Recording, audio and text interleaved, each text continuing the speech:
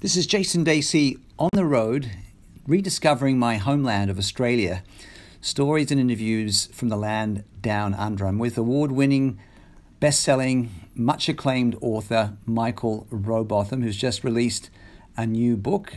Good to see you again, Michael. It's been a while. We used to be colleagues, I should point out. Yeah, it's been, I, we've got to count it up. It's been more than 30 years, Jason. Yeah, it's, I think, at least 30, 35 years. We'll talk more about how we know each other a bit later on. And we'll also talk about how you had a quadruple heart bypass operation. And it's a miracle that here you are at the age of 58, that you're sitting in front of me because you had a dice with death just, uh, uh, you know, maybe a year or so ago. We'll talk about that more. But tell me about your new book.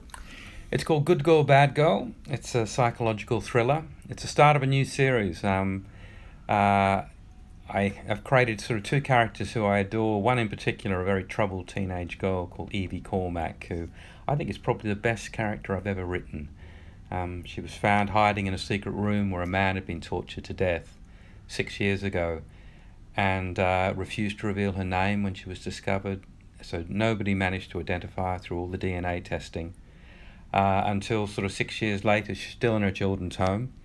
Uh, she's applying to be released and a young psychologist called Cyrus Haven is sent in to interview her and to decide if Evie Cormack is ready for the world. But what he really has to decide is if the world is ready for Evie Cormack because she's a remarkable young woman. Well, your books are, are fantastic. I've read uh, several of them. Your characters are very dark and there are many different twists and turns. But this is a bit of a departure, isn't it? It's something different to what you've been doing. Uh, is it 14th book?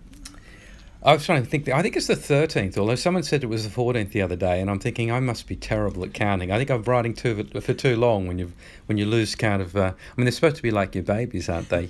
you don't forget how many children you have, but it's either thirteen or fourteen. Yeah, and um, you know, tell us a bit more about um, Good Girl, Bad Girl, because uh, it's getting a lot of. Uh, attention in media wise, uh, not just here in Australia, but also internationally. And uh, we know that some of your books have been turned into movies and TV series. Um, but what about, you know, a little bit more about what we can expect, uh, especially for our Southeast Asian listeners who want to go and buy one? Yeah, this one is it's quite a dark book, and I guess it's the um, the mystery is. I mean, Evie Cormack. The reason I think she's remarkable is that she can tell when someone is lying. She's what's known as a, a truth wizard, and that's not something out of Harry Potter. Um, they do exist. Um, there are people in the world that can tell when someone is lying. Uh, often they've come out of professions like the police force or the prison service or child services, where they're lied to every day, and they can therefore they can start picking when people are lying to them. Evie Cormack has had such a violent, terrible, terrible childhood where she's had to pretty much to decide from one moment to the next whether someone was going to hit her or hug her. So she has developed this unique ability to tell when someone is lying. And it, when I say it's unique, it is a complete curse because you have to just imagine for a moment we lie all the time to each other to maintain relationships, to maintain friendships. We tell people that their new hair style is great and my bum doesn't look big. Your bum doesn't look big in that dress. You know, um, you know, we, we, we lie and say I'm five minutes away, I only had one beer, I bought it on special. I mean, these are the simple little lies we tell. But what a curse it would be if we knew every time someone was lying to us. I'm with uh, award winning, best selling uh, author Michael Robotham in Brisbane, where he's on a book tour across Australia. And of course, his book, uh, Good Girl, Bad Girl, is coming out, and uh, people can, uh, can buy that. But let's go back to the beginning, Michael, because you and I worked together many, many years ago uh, in, in a news organization, John Fairfax and Sons. Sounds very old fashioned now, doesn't it? And you were, I think, you were around a year older than me. You were a year ahead of me. You were, you were a journalist on the Sydney Sun. Did you ever imagine, when we were both young cadet journalists, as they were called in Australia then, did you ever imagine that you'd be a best selling author?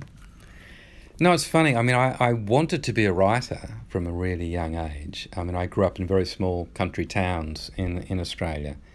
And I, I wanted to be a writer from about the age of 11 when I read the works of Ray Bradbury, you know, a very mm. famous writer who wrote Fahrenheit 451. Yeah, we studied at school, didn't we? Exactly. And uh, I wrote a letter to him when I was 11 years old. And I, I don't re- recall putting a stamp on the envelope, but I, I put it in a post box in my little country town. And three months later, I came home from school to find a package containing the three books that weren't available in Australia. And a letter from Bradbury himself saying how thrilled he was to have a young reader on the far side of the world.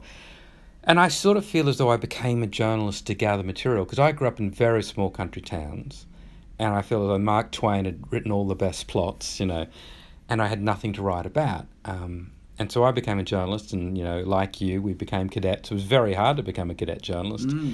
Ever since Woodward and Bernstein had had, uh, had broken Watergate, every man and his dog wanted to be a journalist. Um, and you and I, yeah, we were one of the last people to take, go into journalism straight out of school, straight out of high school. And here we are in our late 50s. It's hard to believe, you know, 35 years have passed since we were last uh, sitting face to face here. But I, something very dramatic happened to you last last year, I believe. And, you know, you I'm looking at you, you look fit, uh, you look healthy, you know, not carrying any excess weight. But you were on the brink of dying and you had a quadruple bypass heart operation. I know a lot of people listening out there probably think you know, this would never happen to me, but you could really not be be alive now. You were very very close to dying. Yeah, and it came as a complete shock because I had no symptoms whatsoever. Um, um, unbeknown to me, it it's in my family. I mean, I had no idea it was in my family. That genetically, I was um, predisposed to having a heart condition.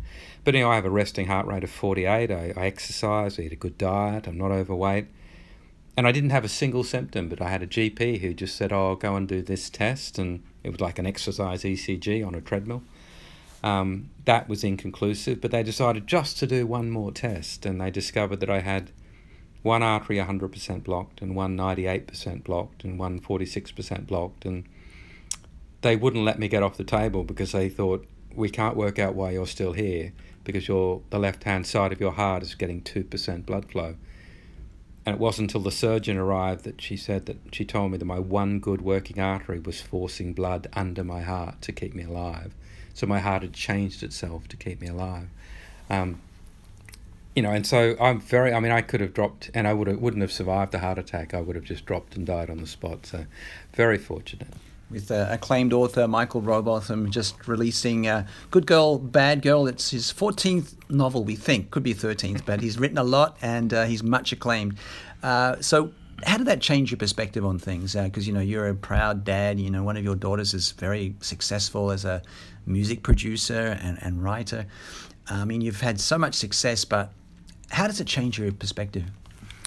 It's interesting. Initially, you know, I, I, people said, "Oh, you must have felt like a new man," Um, and and because I physically didn't have any symptoms, I didn't feel I didn't feel any different. But it gave me oh, this massive sort of shock, I suppose. It's that I brush with you know mortality, where you know you suddenly decide I'm not going to put things off. You know, I mean that that trip to Africa, like I took a trip to Africa, you know, went back there this year, and you know that that desire to just sort of see as much of my children and see as much of the world, and you know I I'm not going to stop writing books because it's what I love, you know, love doing. But I think I'm going to try to um, embrace life and just sort of look at the colours and just stop.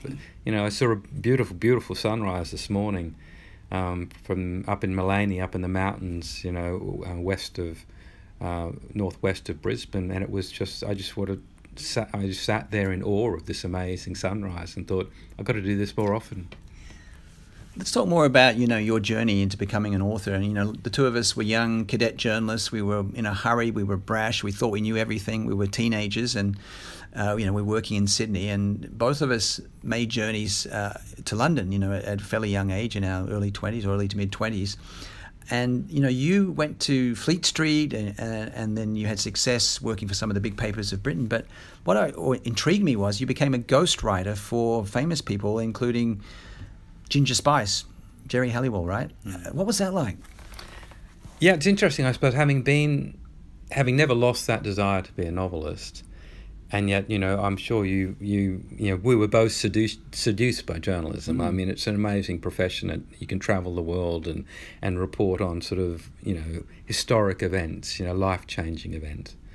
But I never ever lost the desire to, to be, you know, a novelist, and but I, I, I then began to wonder if I had the patience or the discipline because as a journalist, you're only you're always writing you know 800 words or 1,000 words or doing, you know, a, a small segment, you know, to camera and and so I thought ghostwriting might teach me if I have that discipline. And I, and I met a ghostwriter and when I was working on Fleet Street.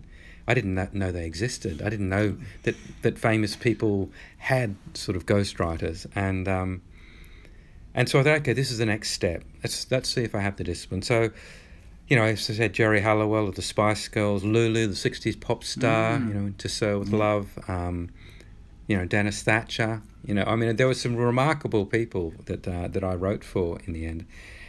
But I, I think the the magic of ghostwriting and what it taught me was a ghostwriter has has to ca- these are their books, these are their autobiographies. So I had to capture their voice so perfectly that people that had known them their entire lives would not recognize my fingerprints on that story. So it was that ultimate job. It's almost like being a portrait painter, and you start, but you have to use their brushstrokes and paint paint them with their skills. It's a different art, isn't it? And I mean, like you, I think I'm I'm very nosy. I love hearing people's stories, and I want to know what makes them tick, and I want to know every detail and every date. I think it's just part of you know who we are as journalists. But you'd already written a novel in a great Australian novel, as they say, that never was accepted. But then, I think around 2002 or so, you you kind of went into the the crime writing genre, which is my favorite genre. Um, I love reading that kind of stuff, including your books. So, how did you make that leap, you know, from being a ghostwriter to being a successful mm. crime novelist? I was in, in between projects. Um, I just finished a ghostwritten book, and, and I'd been told in three months' time, actually, it was the book Lulu, the, the autobiography of Lulu, was coming up, and I, and I was asked if I'd do that. And I had this window of three months, and I wrote 117 pages of um, of a novel, which I had no idea was a crime novel. Um, and it, it triggered a bidding war at the London Book Fair in 2002. And by then I was back, I'd moved back from London to live in Australia. I was living in Sydney, and the phone was ringing at three o'clock in the morning from my UK agent saying that there were five American publishers bidding and four German publishers bidding, and the, the French had offered this, and the Italians offered this. And in the space of three hours, it was translated into more than 20 languages, and I think it's now into sort of 27, including quite a number of Asian languages. Um, and uh, I mean, it was the mo- I mean, every dream I'd, I'd ever had came true uh, in that sort of three-hour period. You don't go to sleep after something like that. And by seven thirty in the morning, my wife and I were still awake, looking at the ceiling. By which time we'd spent the money, you know. And by eight o'clock, we'd cast the Hollywood film. And by eight thirty, the terror set in, thinking, "Oh my God, these people think I can write a novel, and I don't know how it ends." But I mean, it was the most astonishing way to start my career. It really was, you know, and I remember, you know, I was in the US, I think, not long after that, and I was, was working over there. I remember walking into a bookstore in, in uh, New York City and I'm seeing like Michael Robotham displayed there as a novel, and I'm like, is that the same guy? so I kind of did a double take and I looked it up. And of course, you lose contact. You know, we were, we were colleagues, uh, you know, 30 years, years and plus ago. And here you are, you know, being um, brandished in a, you know, in a New York City, uh, Manhattan bookstore. But what intrigues me too is how German um, readers and TV viewers have really taken to your work. They love it. And, and you've got the TV series and films from that. Tell us about that.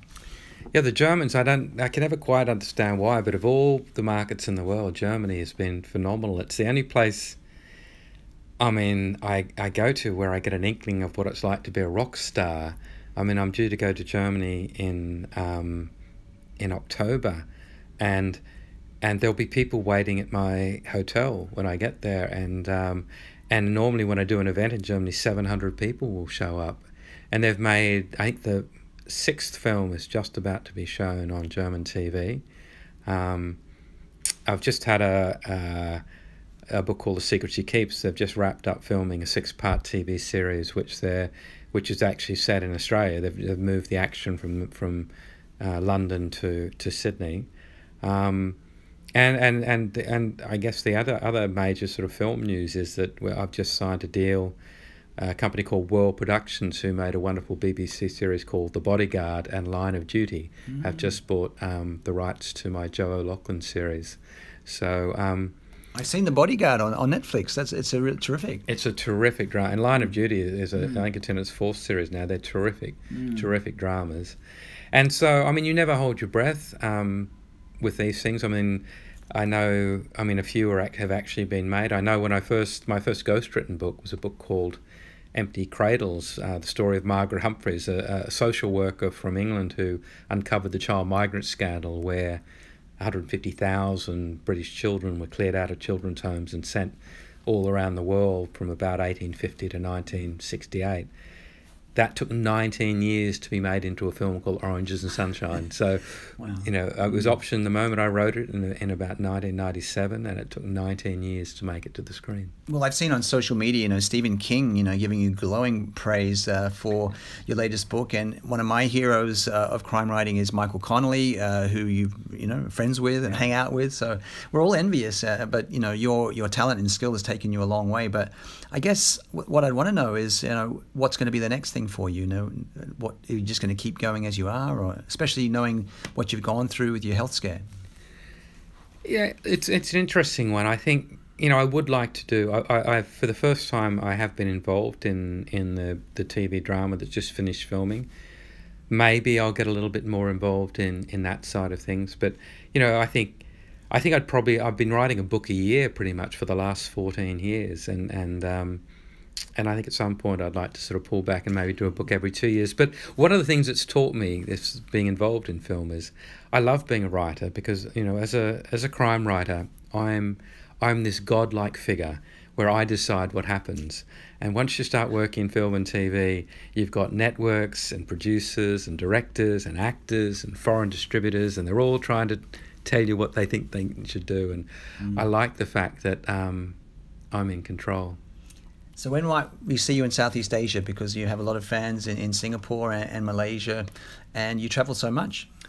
I'd love to. A, a couple of times I've been invited to writers' festivals um, there, and I haven't. It's never. It's always corresponded with when I'm already on tour somewhere else. But I'm looking forward to to to getting into getting up there to some of those sort of Southeast Asian festivals because uh, it's a part of the world that I love. You know, and I love traveling there. But I've never actually gone up there with my writer's hat on. Well, Michael, uh, what a treat it is to, to see you again after 35 years and to know that you survived your health scare and the way that you know our lives have turned out from being those young, brash, with the know, reporters with the bad hairstyles and the bad fat ties. Huh? And we haven't changed a bit, have we? not a bit, not a bit. This has been Jason Dasey on the road in uh, Brisbane, Australia. Michael, it's been a pleasure. Thank you. Thank you. It's a pleasure.